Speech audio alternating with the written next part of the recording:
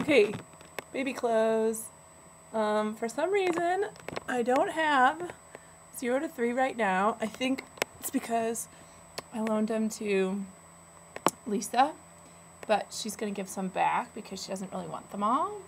So these are some three to six month clothes that I have. And uh, these are some like general baby, like sort of an all over coat for, it says zero to nine months. And one of those hooded towel thingies that's like actually a robe. Sort of silly, but you're welcome to have it. We never really used it. And some assorted bibs. Um, this stuff all belonged to my cousin, and I don't think they need it anymore, and we never really used it. Um, so you could have it. Bye. It's me again. okay, I found some more baby clothes in um, my stash of stuff, the stuff we actually used when Taya was little, except for that little caterpillar outfit, we didn't actually use it.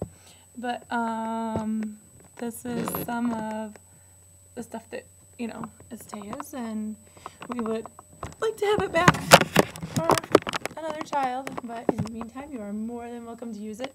And it also is three to six months, though, um, except the booties and socks you could probably use before that. Uh, so take a look and let me know what you want.